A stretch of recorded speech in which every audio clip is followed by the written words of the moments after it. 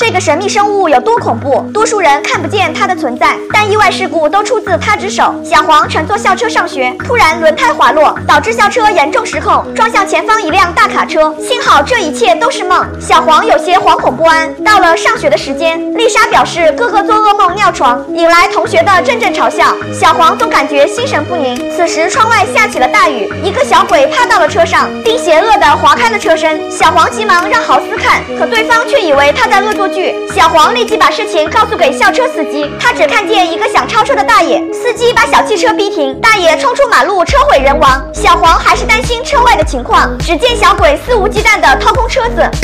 There's a monster on the side of the bus! You're deceptive. I don't see anything. 就连外星人都开始嘲笑愚蠢的人类。下一秒，他们也被小鬼盯上。小鬼示意车上的人必死无疑。突然，他钻到车胎位置，开始卸上面的螺丝。眼看噩梦的场景即将变成现实，小黄发疯似的发出警告。校长立即上前制止，并把小黄绑了起来。他跟转校生搞好关系，让对方解开了绳子。小黄抓起恶作剧用的鞭炮，打开紧急逃生窗，巨大的吸力将他吸到窗外。车里的人全部乱作一团。幸亏校长及时拉住小黄，生死关头，小黄将鞭炮扔到小鬼身上，这才驱走了恶魔。没想到小鬼撞到内德车上，他连忙下去查看，并把对方当成一个怪胎救治。回到学校，大家看着伤痕累累的车身，就差一点，所有人都将死于车祸。即便小黄拯救了大家，但他还要接受精神治疗。校长把小黄送进了疯人院。At least now I can get some rest.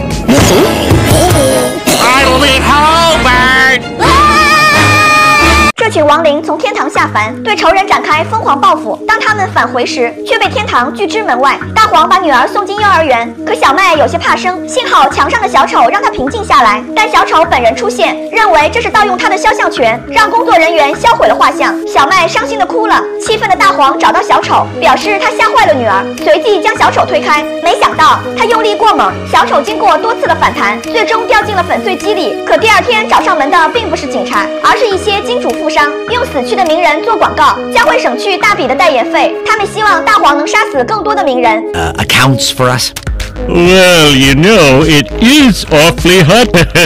先是明星乔治克鲁尼死在了星光大道上，接着是摇滚歌手在后台被大黄活活勒死，就连知名企业家也难逃他的魔爪。一时间，铺天盖地的广告都省去了天价的代言费。画面来到天堂，被谋杀的人聚在一起，观看两代总统的激情小广告。初代总统认为这是对自己的侮辱，这时乔治开始动员大家，心存怨念的死者纷纷响应。突然，地动山摇，天空划出一道白光，亡灵在派对上大开杀戒，解决掉所有人后，死者们将大黄围住，小丑一枪将他爆头。当大家返回天堂时，却发现大黄先到一步，并将大门紧锁。原来是十六代总统给他开的门。其实那条激情的广告并不是对他的侮辱，而是表达了他的心声。你绝对想不到，复仇者联盟还有另一个结局。灭霸用末日软件团灭了超级英雄，网上流行人体升旗挑战，小黄跟风效仿。由于炮车拉力太大，他及时解开绳子，没想到绳子勾到好将他从山上拖了下去，导致豪斯全身粉碎性骨折。护士带他去康复中心，把小黄留在了病房。这时，鹰眼的扮演者来到医院，关怀他忠实的小粉丝。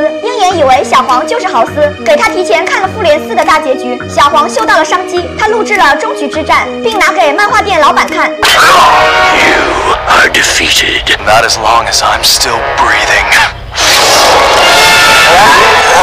对方想知道结局，但他更想去电影院亲自观看。小黄借此敲诈了老板一笔。当他尝到甜头以后，更加肆无忌惮。任何人都不想听到小黄的剧透，就连食堂的阿姨都要敬他三分。只有大黄不吃那一套，因为他看复联三时睡着了。丽莎也不喜欢超级英雄电影，但当他和最火的男明星共舞时，竟忘记了之前的话。How do you feel about exploitation now? it's okay. 原来这一切都是小黄的安排，他用剧透来威胁鹰眼，让自己为所欲为。但下周四正片就要上映了，留给小黄的时间不多了。他让镇上的人为自己建造树屋，不然就剧透剧情。这时黑手党动了杀心，可小黄早已料到，一旦自己发生意外，大黄便会将剧情泄露出去。晚上，钢铁侠从天而降，把小黄带进了一个空间洞。原来电影中的情节竟是这个宇宙的现实。小黄的剧透导致鹰眼死亡，因为反派得知他的计划。划，事先做了准备。好家伙，这些都是漫威影业做的 VR 体验。突然天花板炸裂，灭霸带领大军来袭，手下们挟持了小黄，并将他交到灭霸手里。只要小黄说出结局，灭霸就将毁灭整个复联，还会赋予小黄真正的超能力。面对如此强大的诱惑，小黄望向鹰眼的雕像，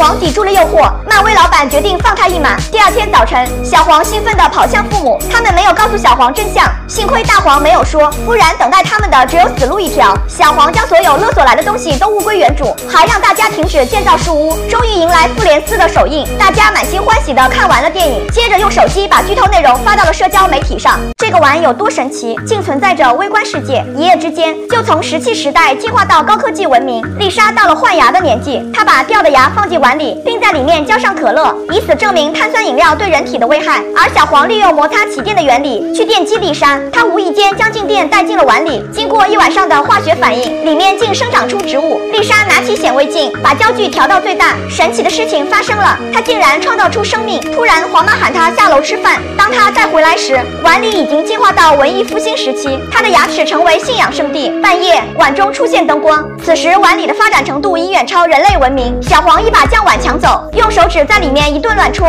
，Oops, my fingers. Stop it! 碗里的世界被搞得残破不堪。没想到他他们在夜里进行反击，短短时间已经发明出太空战舰，将小黄视作打击目标。他们排列着整齐的方阵，向嘴里疯狂扫射，小黄却怎么也抓不到，任由战舰轰炸后潇洒的离开。他气愤地追到丽莎房间，但对方却袒护着微型人。小黄放出狠话，早晚将一盆水浇回那该死的世界。突然，碗里发出奇异的光线，将丽莎整个人吸了进去。原来是教授发明的微缩机。You think I'm God? But of course. 他们从出生就听丽莎讲话，并且是她赋予了大家生命。微型人将小黄视作恶魔，话音未落，小黄就出现在天空。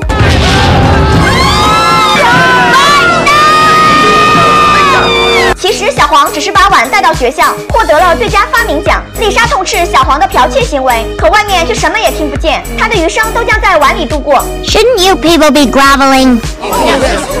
And bring me some shoes. Still want socks too. I'll, I'll get socks. 这个连体婴有多邪恶，竟要吃掉自己的兄弟？长大后甚至成为恶魔之子。每到夜晚，兄妹俩就会听到阁楼有动静。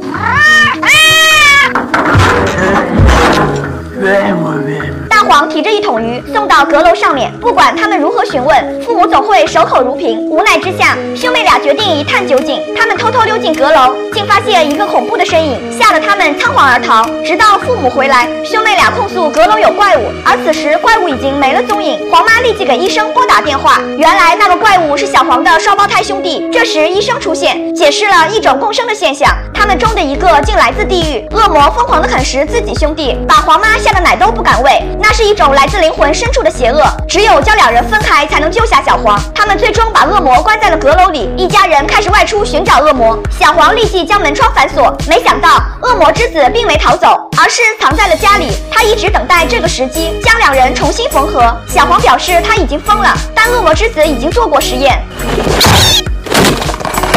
危急关头，医生出现，他拿出镜子让恶魔照一照。当把对方骗过来后，一拳将他打晕在地。黄妈救下了小黄，大家正商量着如何处置恶魔。诡异的事情发生了，从身上的伤疤来看，小黄才是恶魔之子，而他却表示别开玩笑了。医生想到解决的办法，他将天生善良的小黄接纳回来。